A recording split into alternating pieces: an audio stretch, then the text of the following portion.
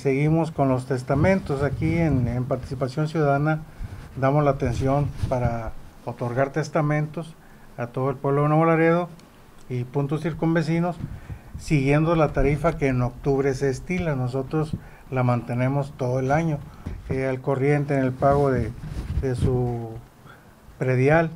Y ya una vez habiendo analizado bien la documentación, pues se va con el notario licenciado Timio Puente Rodríguez, la notaría 323, que es el que nos proporciona la atención y seguimiento a los testamentos. Fíjese que comparado con el año pasado, el año pasado tuvimos muy poca pues eh, consulta respecto a testamentos porque fue el año crítico de, de, la pandemia, pero ya en este empezó la gente otra vez este pues a darle seguimiento a las necesidades de testar y de indagar sobre juicios sucesorios testamentarios, sobre otro tipo de trámites y, y tuvimos un 60% más de consultas que el año pasado. Hoy ya tenemos como 42 consultas respecto de testamentos y de juicios sucesorios y 12 sí se le ha dado hasta su culminación.